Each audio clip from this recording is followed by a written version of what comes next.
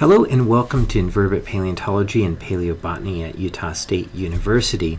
This is lecture one where we try to answer the question How good is the fossil record? Now, you've likely heard the quote 99.99% of the species that ever lived are now extinct.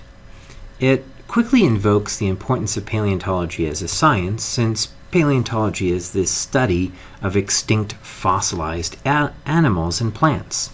And 99.99% of life is extinct and of this category.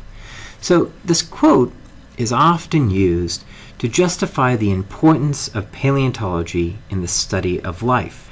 But a question for this lecture is how much of this 99.99% of extinct life is actually represented by known fossils? This quote is often attributed to Stephen Jay Gould, but the earliest occurrence of this figure come from textbooks in the 1990s that cite the work of David Raup. David Raup was an unusual paleontologist at the University of Chicago who worked principally in front of a computer and rarely in the field. His interest was in quantifying the quality and nature of the fossil record from published works. His interest was in studying the patterns of extinction and the diversity of life.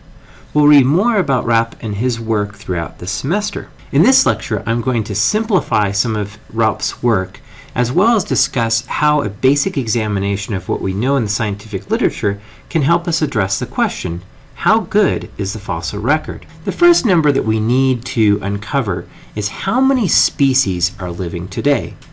And this is not an easy number to find.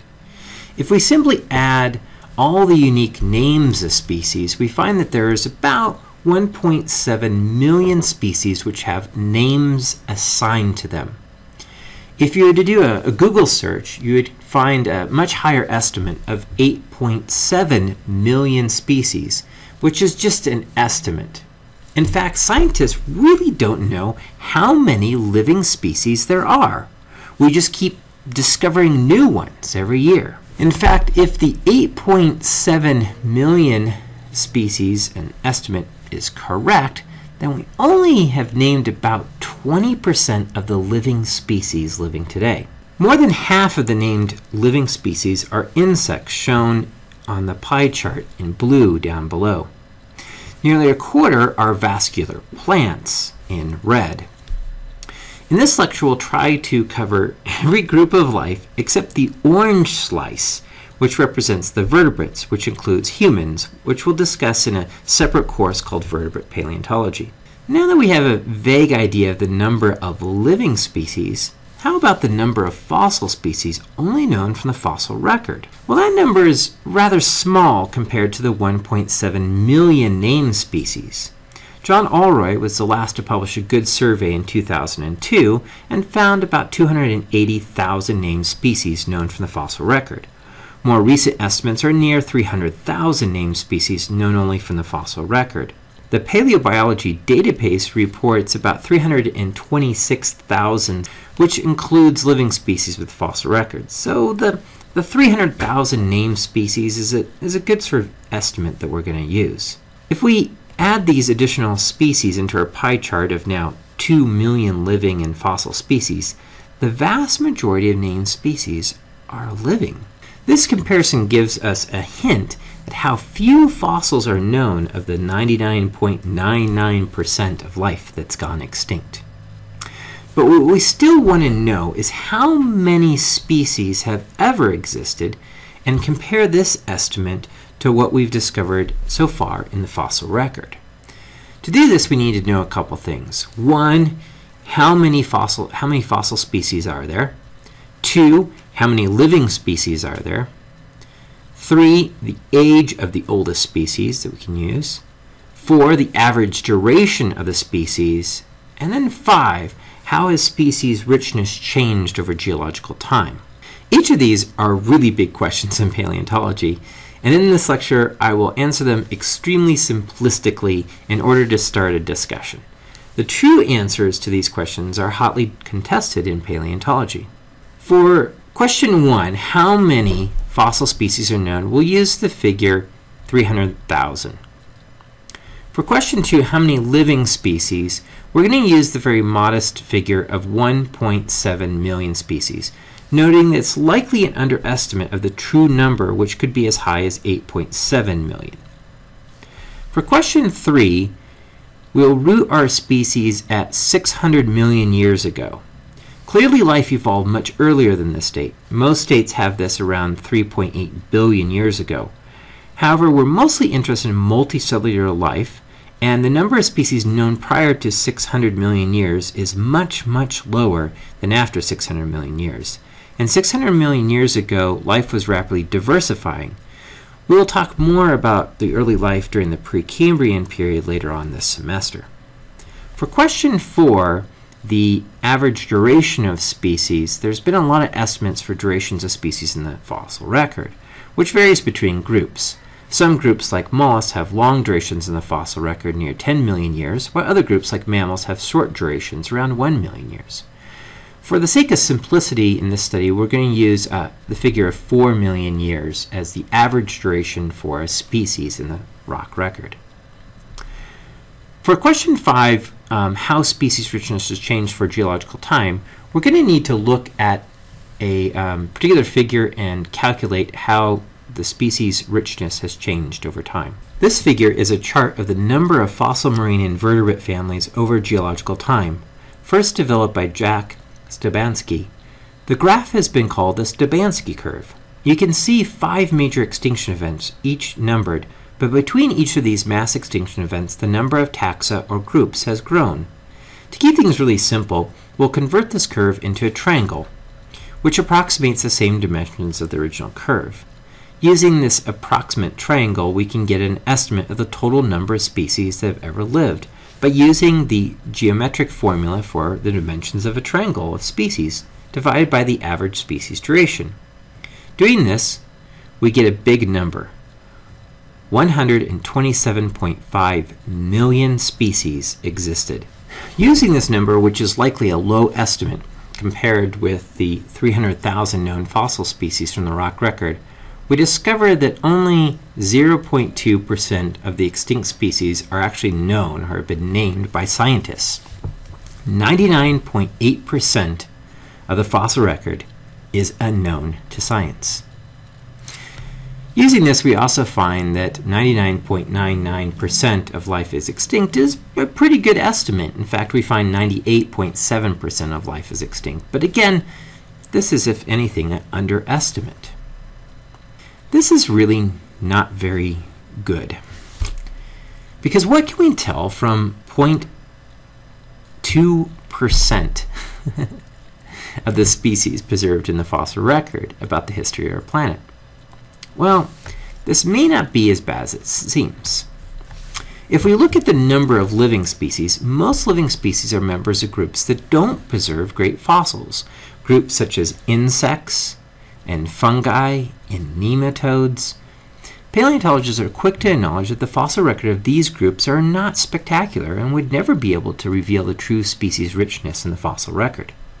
So rather than look at all the groups, let's narrow down to the nine major groups that are well represented in the fossil record. Life forms that produce hard parts, skeletons, they're easily fossilized. If we look at these nine groups of life forms, we see that the numbers make a little bit more sense. The number of living species is 150,000, with fossil species higher at 180,000 species when we look at just these nine groups. This means that the fossil record is has a much higher proportion of the total number of known species. We can use the same calculations as before, using just these nine groups, and we see that the fossil record is better. 1.6% of fossil species have been named, and 98.4% of the fossil species have yet to be discovered. We still have a lot to discover in paleontology, if it is true.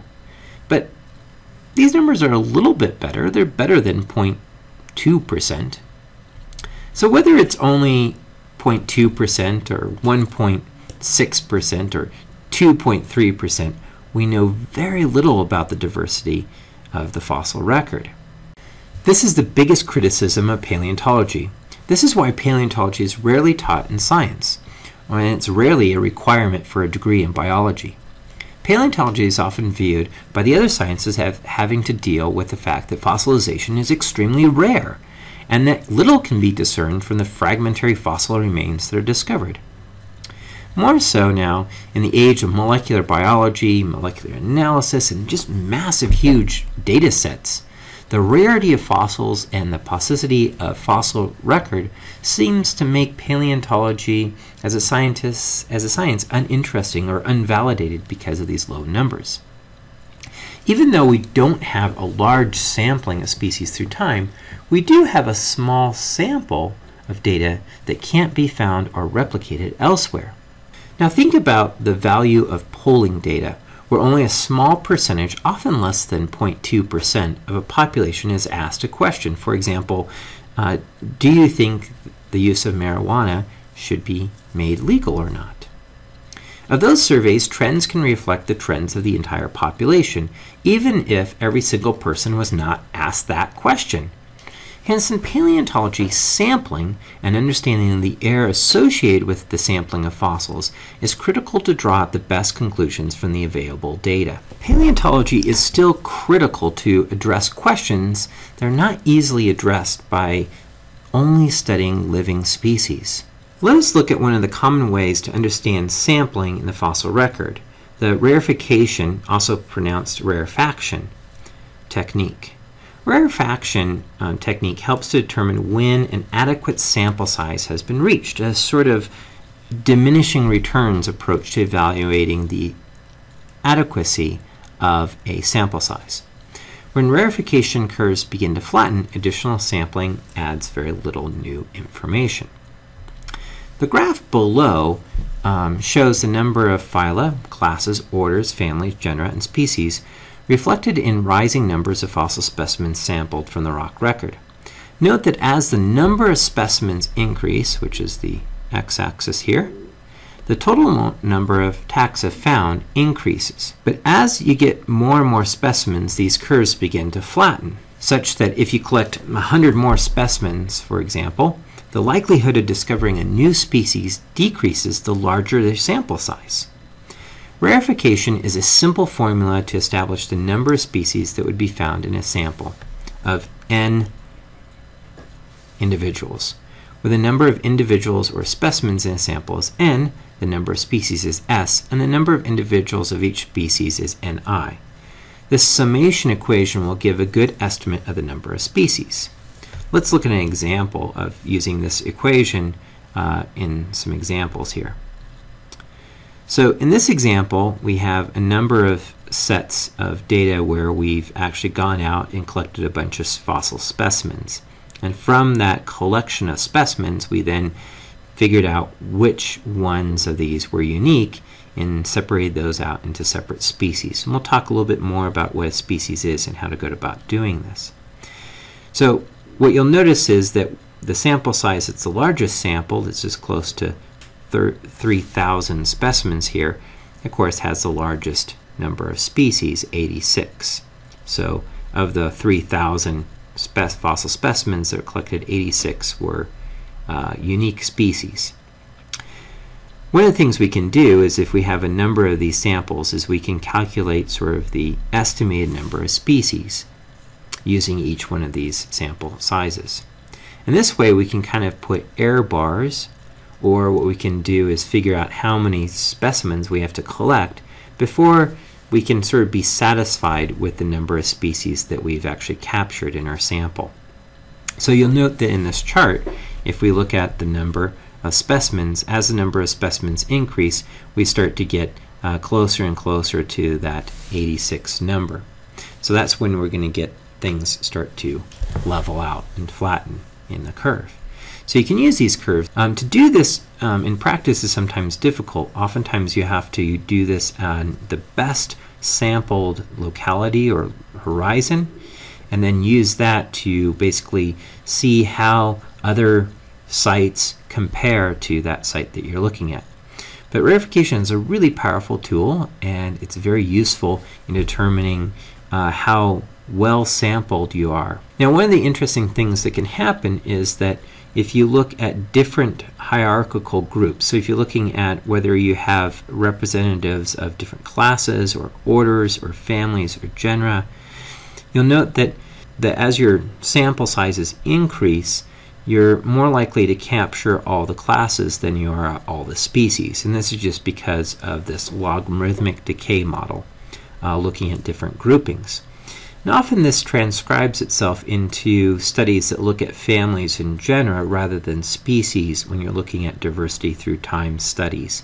So, for example, the Sepkoski curve used the marine uh, invertebrate record to look at diversity through time rather than species because the fact that you're going to get capture all the species in the fossil record is less likely than capturing all the families in the fossil record.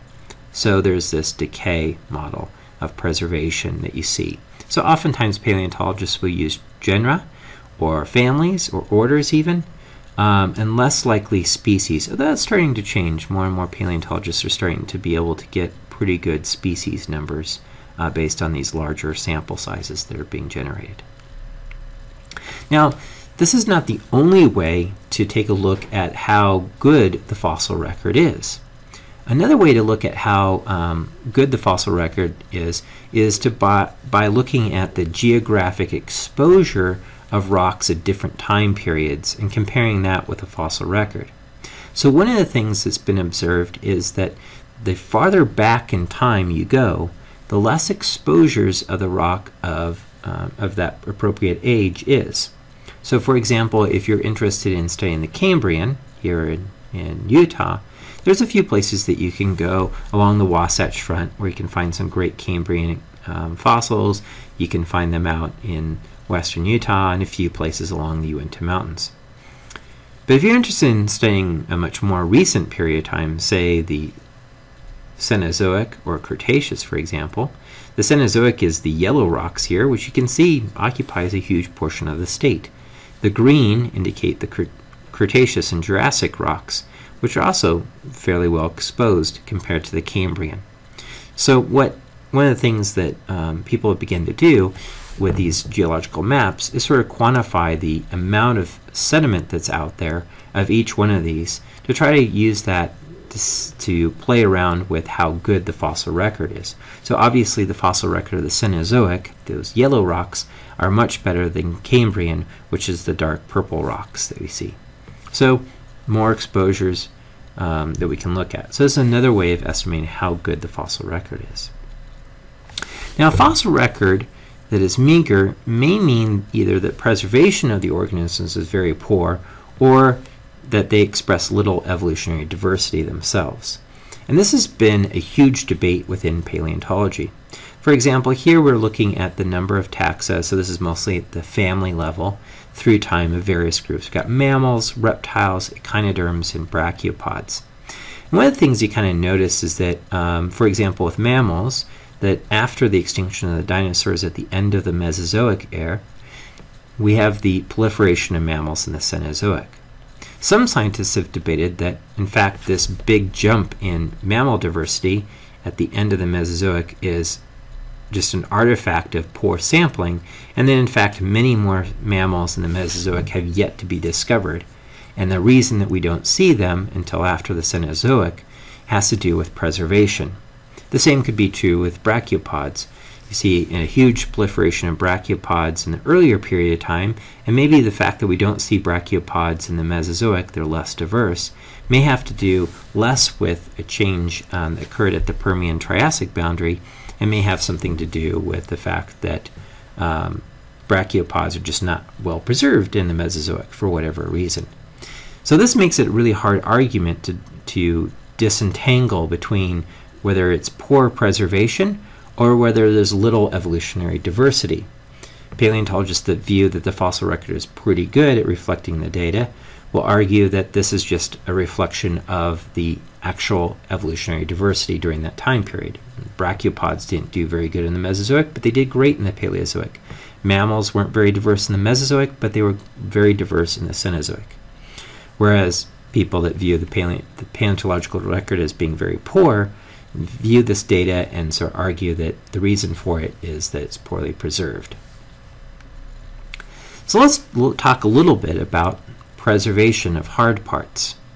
So one of the things that often we talk about is how um, evidence of life get transported into the rock record. And it's a very lengthy and complicated process, but I was going to touch upon some of the things that we need to consider when we talk about preservation and how good the fossil record is.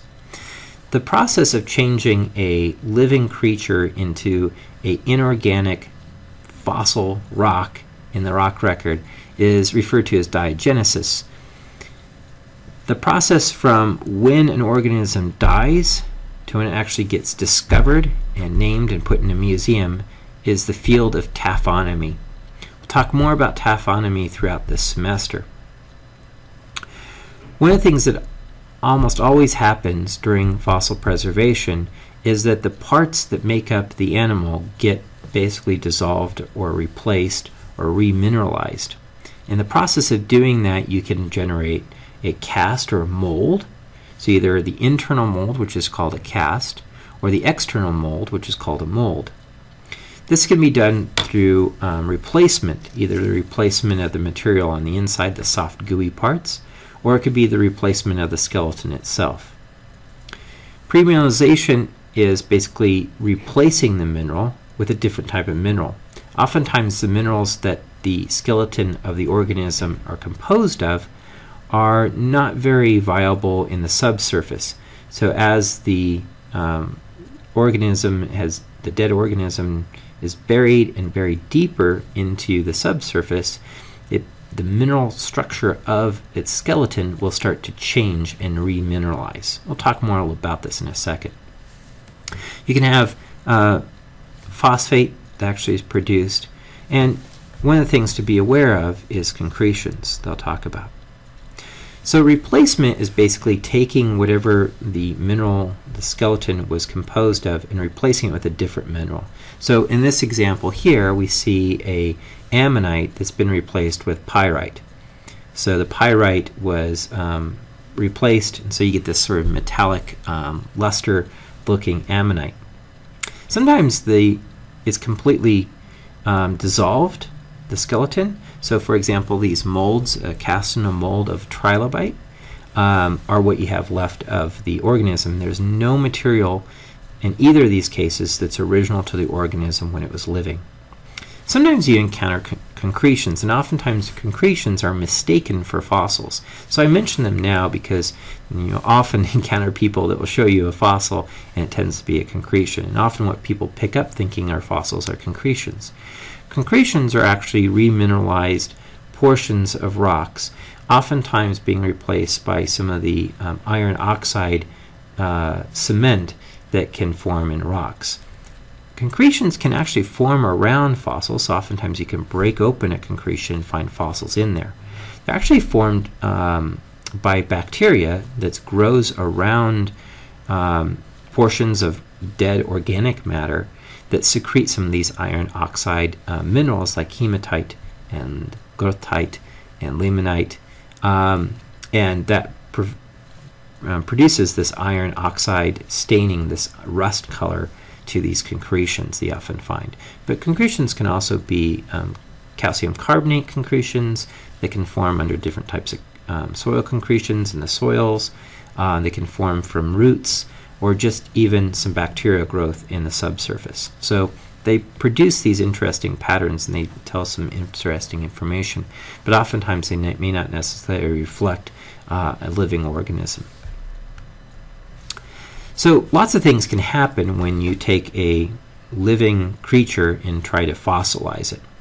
One of the things that happens first when an organism dies is biological destruction. That is that portions of the organism may start to be uh, dissolved or eaten by other organisms, particularly organisms that are decomposers and rely on dead organic material as their primary food source. So, for example, here's an abalone um, shell that's been infested with boring organisms. And some of these boring orga organisms probably led to the death of this little uh, shell and the reason that it died. So biological destruction can even happen before the organism dies. One of the other things that can happen is me mechanical destruction of uh, organisms. So if we think about um, preservability, how well each of these shells would be preserved in the rock record, in the fossil record, we can see that you know the shell that has a lot of um, spines coming off it, a very ornate shell, if it's tumbled in a surf or broken up on a beach, those pieces are going to easily break off of it and it may not preserve very well. Yet if you have a shell that doesn't have any of that ornamentation, really uh, thick and robust shell, then it will likely survive a lot of that metallical destruction and it will be uh, better represented in the fossil record. And there's been some really fun experiments looking at me mechanical destruction. And here's an example of one that's in the reading. So for example, um, here the um, scientists took a number of uh, different organisms that they found uh, living along a nearshore marine system. Uh, it included um, this gastropod Nerita that they threw in, but also included bryozoans and corallia, which is this very fan-like, very brittle coral. Threw it in there, which is bright. Uh, threw it in there, tumbled it within just a few minutes, that was blown apart. And they did it over time and then calculated how much of the sample uh, was represented by each of these groups. So what's really interesting is that the Nerita survived clear out here over 100 hours, whereas these bryozoans, these more brittle organisms, just didn't make it into the fossil record. So if this is representing the fossil record, you're offering sampling, not sampling the more brittle types of fossils that you just don't get preserved in the fossil record. The ones that have robust, strong shells are going to be the ones you're going to be oversampling. Here's another example. In this case, not necessarily looking at differences in the shells, but also kind of how the shells are constructed and made. Uh, are made, and you can see that over time, as they tumble these in a rock tumbler, they some of the uh, clams were able to survive, whereas the oysters tended to get busted apart into teeny little pieces and weren't as well represented, and eventually get disintegrated when the rock tumbler keeps tumbling and tumbling and destroying these things. So some wonderful experiments have done been done to looking at the taphonomy, that is the uh, sampling of each of these things, and these are things to be aware of when you're talking about the fossil record talk about chemical destruction. So one of the things that we'll discuss throughout this class is that various organisms compose their skeletons of different types of minerals. Most of them do with aragonite, but other organisms um, produce skeletons out of silica or calcite. Aragonite doesn't like to stick around when it's in the subsurface. It's, it's a very delicate uh, crystal lattice structure that's used in aragonite. And so when these fossils get buried, they tend to recrystallize into calcite or get completely dissolved. So in this example here we have an ammonite with the original aragonite shell preserved and that gives it that really cool shiny sort of mother of pearl effect. And then here we below we have the very dull ammonite without the aragonite shell preserved. In fact, they probably had a very pretty uh, mother of pearl sort of look with the aragonite on the outside of that ammonite shell, but it's just dissolved away.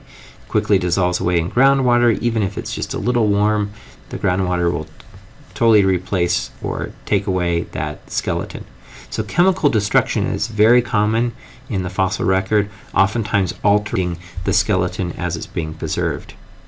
So one of the things that paleontologists are very aware of is that when they go out to collect uh, fossils, they're often getting a subsample or a very skewed sample of the types of fossils that they're actually finding. And trying to quantify how this sample actually represented the original environment is very tricky and very challenging to paleontologists. But it's really important to try to figure out what the uh, these things represent and able being being able to reconstruct what the environment was like in the past.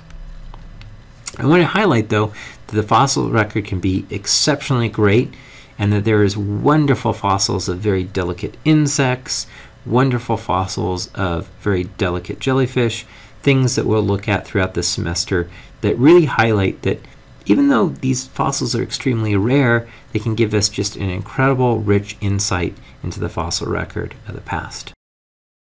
For those of you watching this lecture outside of class, if you're interested in taking a course at Utah State University, check out the website geology.usu.edu.